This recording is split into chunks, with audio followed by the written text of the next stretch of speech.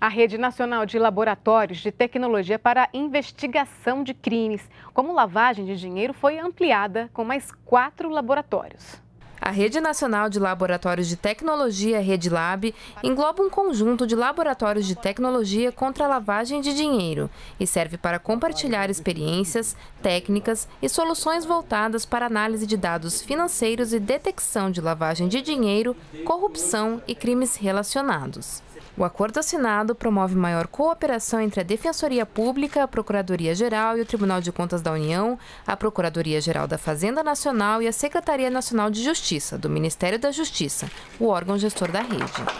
A ideia é haver um ambiente com softwares e hardwares capazes de processar um volume de dados e informações que cruzem e deem substância, substrato, subsídio para que os investigadores possam enfrentar, é, identificar, é, detectar crimes ilícitos e assim instruir processos para é, enfrentar lavagem de dinheiro, enfrentar corrupção no país.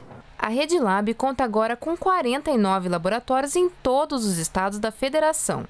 Essa rede recebeu até o momento 41 milhões de reais em investimentos. O valor vai ajudar a compartilhar experiências e soluções sobre análise de dados financeiros. Até agora, o investimento permitiu que cerca de 30 bilhões de reais com indícios de ilegalidade fossem identificados. Os novos laboratórios que vão integrar a rede a partir de agora vão ajudar na fiscalização de contas, na recuperação e na identificação de ativos e na recuperação da dívida que os devedores têm com a União. Nós temos hoje um foco muito importante no grande devedor, né? que no nosso caso é o, é o devedor que deve mais de 10 a 15 milhões de reais. Isso aí é uma quantidade pequena de pessoas, mais ou menos uns 100 mil contribuintes, e da ordem de 800 bilhões de reais. Né?